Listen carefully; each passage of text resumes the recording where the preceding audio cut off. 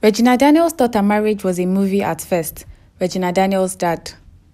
Regina Daniels, 17 year old Nigerian actress and film producer, thought her marriage to a billionaire politician Ned Nwoko was a movie at first, says Regina Daniels' biological father, barrister Jude Ojukwu.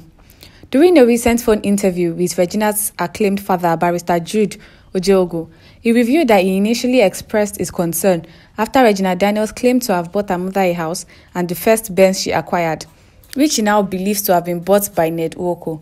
When he called Regina, she claimed that it was for a movie. He also revealed that he believes that her mother pushed her into the marriage because her mother seems more happy than her in most pictures. The Forever 16 actress recently got married to 59, or as claimed by Barrister Jude, 62 year old Ned Nwoko in Asaba, without the consent of her father. For more of this juicy entertainment news, kindly log on to our website at www.broadwaytv.tv, on Instagram at official Broadway TV. Don't forget to subscribe to our YouTube channel, Broadway Africa.